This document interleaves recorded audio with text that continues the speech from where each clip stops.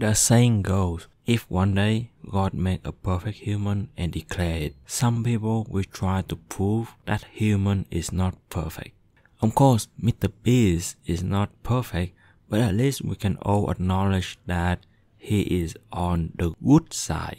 Even if you don't like his content, you can still see that he try to help other people and make content out of it, try to entertain people while doing good thing. Of course, the reason drama, I don't know, I don't think it's drama. It's just like people say that Meet the Beast more like Meet the Bad.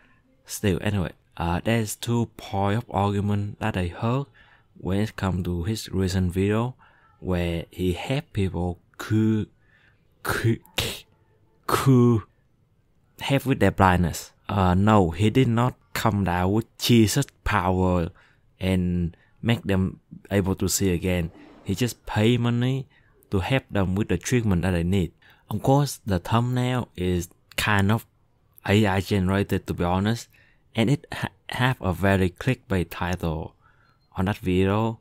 And when I saw that in my recommended page, I thought I was on YouTube Kid or something like random YouTube channel I just have Mr. Beast on it for the clickbait, but I guess it is actually his video.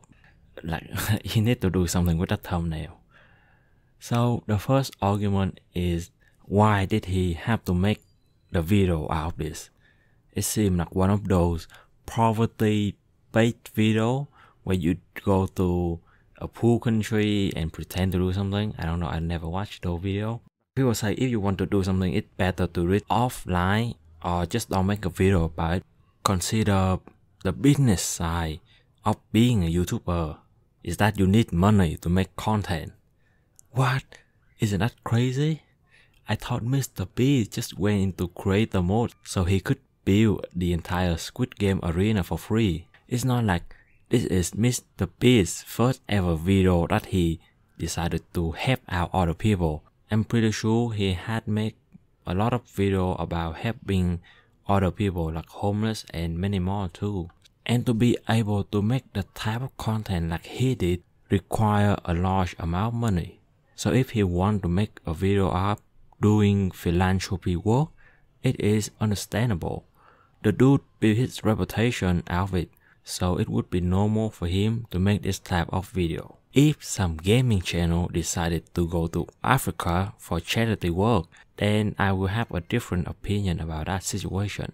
The second point is that the video kind of point out the corruption of the system where the people who not only will benefit the economy and society if they get the treatment that they need, but they don't get it because the government or the system don't really care about them.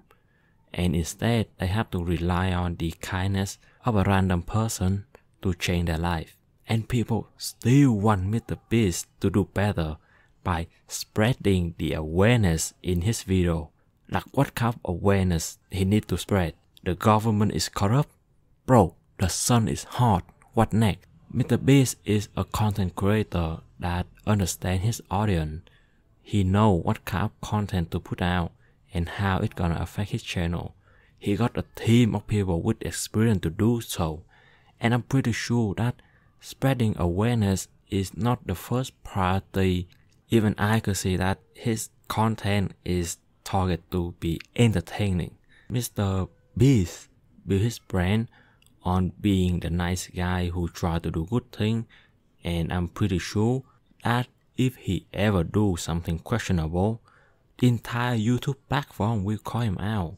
That is the I don't know I don't know if I don't know if it is the benefit or the downside of being the number one creator, but by far I only see people support him and the video that he make is doing pretty well.